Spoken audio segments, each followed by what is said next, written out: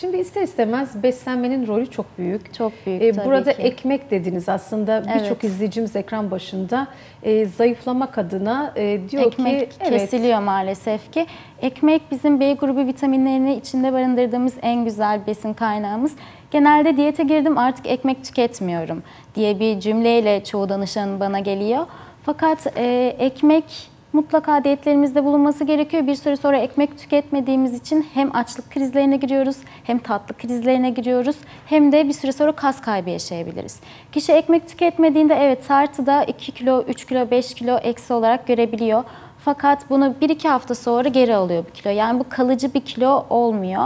Ee, giden de kas ve su oluyor zaten burada. Yağdan etkili bir şekilde gitmiyor. Tam buğday, tam tahıl ekmeklerini istiyoruz ki içerisindeki vitamin ve mineral e, açısından e, daha değerli bir ekmek olduğu için beyaz ekmeğe göre. Çünkü kendiniz bir deneyin beyaz ekmek yediğinizde 1-2 saat sonra hemen yine acıkıyorsunuz. Evet. Fakat tam buğday ekmeği, tam tahıllı ekmekler yediğinizde özellikle daha uzun süre tok kalıyorsunuz. Yoksa işte kalori açısından çok mu fark var diye hocam soruluyor. Kalori açısından çok büyük, e, devasa bir fark yok. Sadece içerisindeki vitamin ve mineralden dolayı ve tokluk süresini uzat, uzattığı için biz tam buğday, tam tahıl ekmekleri öneriyoruz.